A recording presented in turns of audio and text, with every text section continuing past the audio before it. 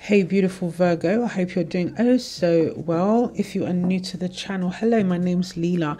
I reside in London, UK. Um, and if you'd like to, in the comment section below, let me know where you reside. I'm always intrigued to know my viewers are from. I'm also a Virgo. This is going to be a love reading. If you're not here for love, then you are more than welcome to go and check out my other content. I make sure that I do a non-love reading, even though love came up in today's reading. Um, every time I I post some content, okay? Please remember to give the video a thumbs up if you find that it resonates with you in any way. It really does help us readers, okay? If you'd like to tell me a bit about yourself, I do I do read all the comments. Uh, I find it hard to reply these days to everybody, but um, I just want you to know that I do see all your comments and I appreciate you guys so much, all right? Yes, us beautiful Virgos, a love reading. Please guide us. So the usual questions that I ask, well, if you're new to the channel, I feel like not giving away. So the first question that I ask Shouts out to my returning subs as well. Freaking adored the loyalty. Look at the bottom of the deck. Can't make it up, baby. Ten of Cups, baby. Who is it that is currently thinking about Virgo?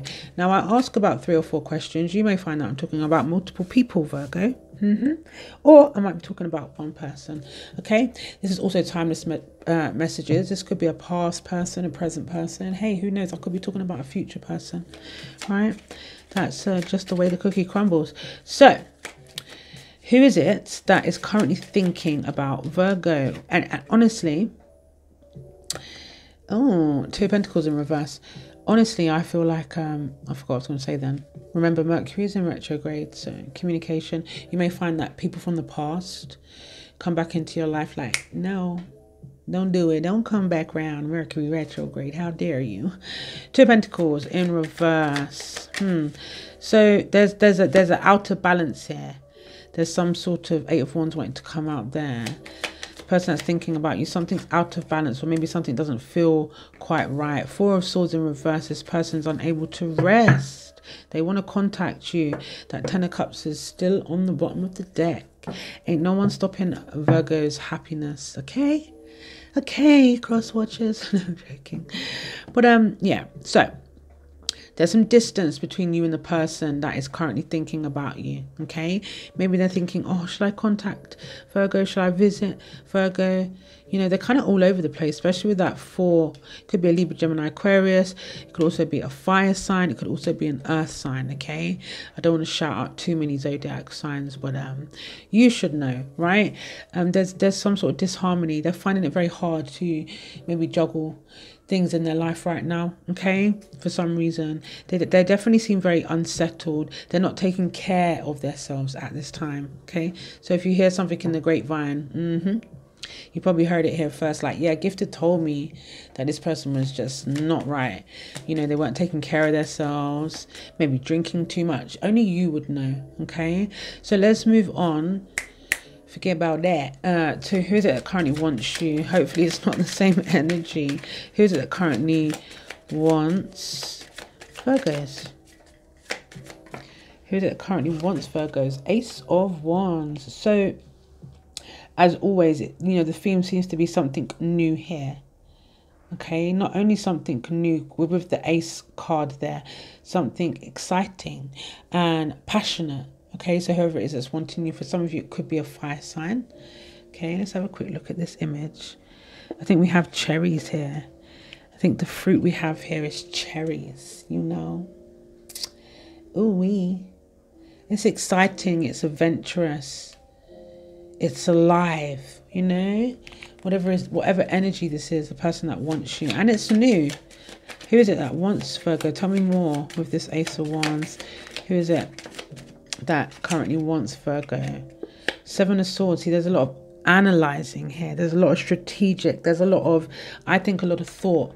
For me, um, I'm not getting player vibes. You know, you guys, I already told you I don't like the Seven of Swords in a sense um, of you know, it can be someone that is deceitful or betrayal and stuff like that. Uh, Knight of Swords, okay, this is somebody that um, definitely wants to save the day. They're very strategic with how they talk to you, I feel, or say things towards you. Okay. I feel like maybe this person I feel has been betrayed as well as you. The Seven of Swords, like if you look at this image, it's very strategic. There's a lady there waiting. I think she's got her hands crossed, like, where have you been? Hmm? And uh, he's not empty handed. He has, he comes bearing gifts, right? So I feel like um, there is a very strategic type of energy here where this person is very mindful. There's a lot of ideas, a lot of thinking about what they should do, how they should do it. It's passionate, it's new. Um, and and that is what I'm getting here. I'm not going to sway across away from that, you know. And yeah, some of you could be dealing with a uh, dealing with a player. But look at this, Queen of Pentacles. This is some this this whoever this person. It's like confirmation. Okay, this is confirmation from spirit that they want you. And I just saw five five five on the dial.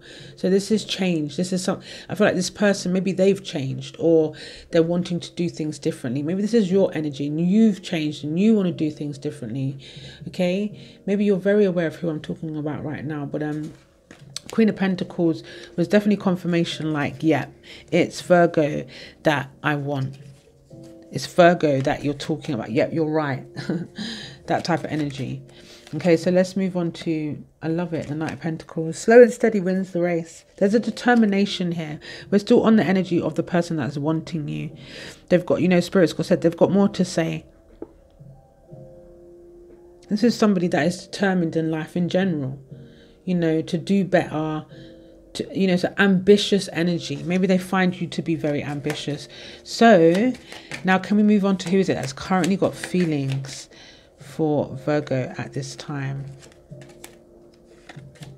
Currently, who's got feelings towards Virgo at this time? Six of Wands. You know what? With it coming out reversed out, almost like want to say for some of you, yeah, for some of you, not for all of you, that uh, you're not giving this person no more attention. That's what I'm getting, Virgo. Like, you, there's a person here that has feelings for you or whatever, uh, loves you, however you want to take it, but you you stopped putting them on a pedestal type of thing, you know. That's what I get. Hmm. Tell me more about. Oh, tell me more. Two of Cups. Wow. Six of Wands, Two of Cups, the person that has feelings towards you. I mean, this is a highly intelligent person. I've already picked up on this in previous readings. Ten of Cups still there on the bottom of the deck. Like some of you are dealing with highly in, intellectual individuals, okay? Um, and, and it doesn't have to be, it can be just the mind frame, right? The mind can be such a, a, a, huge turn on for some people, right? For some Virgos. So six of wands, I feel like um one of you you influence each other. The person that's currently got feelings towards you, maybe they see you as an influencer. They see you as popular. Um, they see you as um someone as the prize. It's almost like the person that has feelings for you, like you're the prize. I don't know why I'm hearing that. Two of cups. There's um there's a connection here. There is definitely a, a connection here conversations, soulmates for some of you, you know, and, and I get this highly intellectual mindset for whoever it is that's currently got feelings for you. All right. I think it's a very accomplished type of energy. What is coming towards Virgo in love? Wow. So I see the world card. I see the death card. I see the emperor. What is this? The Seven of Pentacles. Wow. This is powerful. So the world card talks about enlightenment. You know, it, it means coming full circle here. The world card signifies Capricorn energy. So something with regards to your love life could, there could be a big um, event when or there, there could be a, a shift or something could, whether it's good, bad, something around towards the end of this year, the beginning of next year. Okay, the death card, transition and change, two major arcana there, three with the emperor. Okay, So um, what I see here is an alpha male.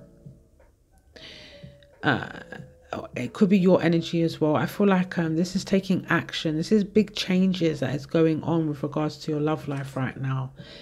Big, big changes.